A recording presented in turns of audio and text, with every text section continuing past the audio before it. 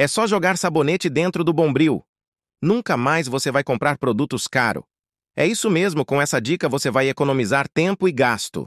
Para isso, vamos precisar de um sabonete. Pode ser o da sua preferência.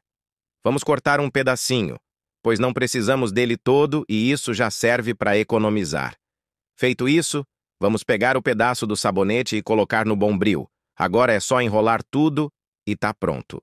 Peguei um potinho com água, agora basta pegar uma panela sua que está queimada no fundo que você já tentou de tudo para tirar e não conseguiu.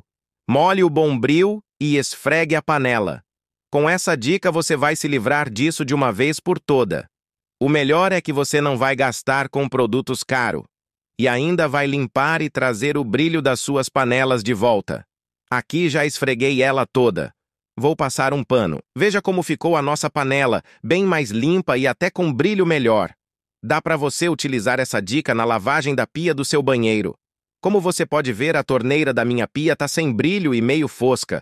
Vou passar o bombril e já aproveito para lavar a pia toda. Aprendi isso e só faço assim aqui em casa. Pronto, agora vou jogar água e como você pode ver, a minha torneira está com mais brilho que antes e bem mais limpa. Se você ficou até aqui, me diz de onde você me assiste que vou curtir e te mandar um abraço.